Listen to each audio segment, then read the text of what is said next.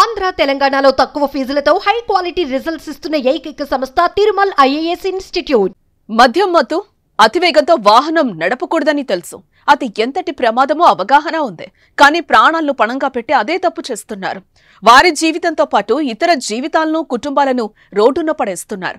కళ్ళ ముందే ప్రమాదాలు జరుగుతున్నా మార్పు రావటం లేదు. తాజాగా మెదక్ జిల్లాలో ఇదే కారణంతో జరిగిన ఘోర రోడ్డు ప్రమాదంలో ఏడుగురు ప్రాణాలు గాల్లో కలిసిపోయాయి. అతి వేగంతో విగత జీవులుగా మారారు. బంధువుల ఇంట్లో అమ్మవారి పండుగకు కుటుంబ సమేతంగా వెళ్ళారు. చల్లగా ఉండేలా దీవించు తల్లి అని మొక్కుకున్నారు. పిల్లా పాపలతో కలిసి ఎంతో సంతోషంగానూ గడిపారు. అందరితో పాటు విందు భోజనాలు చేసి ఇంటికి బయలుదేరారు. కానీ ఇంటికి చేరేలోపే మృత్యువు కాటేసింది. వారంతా ప్రయాణిస్తున్న కారు ప్రమాదానికి గురవడంతో మొత్తం ఏడుగురు మరణించారు. మృతుల్లో భార్యాభర్తలు వారి ఇద్దరు కుమార్తెలు పెద్దల్లుడు ముగ్గురు మనవలున్నారు. అల్లుడికి తీవ్ర గాయాలయ్యాయి.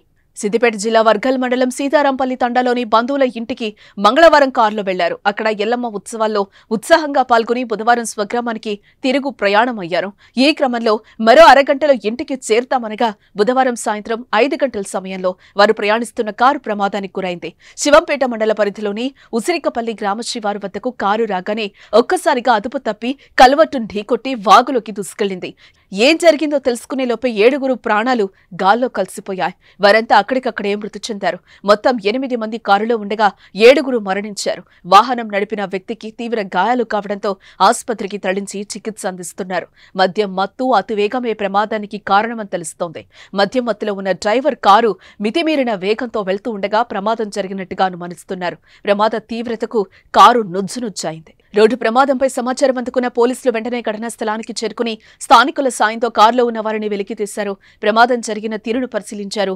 మృతులు రత్నాపూర్ తండా పాముబండ తండా తాళ్ళపల్లి తండాకు చెందిన వారిగా గుర్తించారు. ఈ ఘటనపై సీఎం రేవంత్ రెడ్డి తీవ్ర దిగ్భ్రాంతిని వ్యక్తం చేశారు. అధికారులతో మాట్లాడి ప్రమాద వివరాలు అడిగి తెలుసుకున్నారు. ఇక కుటుంబం అంతా ఒకసారి చనిపోవడంతో బంధువుల రోదన్లు మిన్నంటాయి. విగత జీవులుగా మారారని వారిని చూసి గుండెలు అవిసేలా రోధించారు. ప్రమాదంలో ఛిద్రమైన చిన్నపిల్లల మృతదేహాలు స్థానికులను కంటతడి పెట్టించాయి. ఏటా రోడ్డు ప్రమాదాల బారిన పడి వేలాది మంది ప్రాణాలు కోల్పోతున్నారు. మద్యం మత్తు అతివేగానికి తోడు వాహనదారుల నిర్లక్ష్యపు డ్రైవింగ్ అమాయకుల పాలిట శాపంగా మారుతోంది. కొన్ని వేల మంది క్షితగాత్రులు దివ్యాంగులుగా మారి దుర్భర జీవితాన్ని గడుపుతున్నారు. రోడ్డు ప్రమాదాలను తగ్గించడానికి పోలీసులు ప్రభుత్వం ఎన్ని చర్యలు తీసుకుంటున్నా వాహనదారుల్లో మార్పు రావటం లేదు. దయచేసి వాహనంతో రోడ్డు ఎక్కేటప్పుడు జాగ్రత్తగా నడపండి.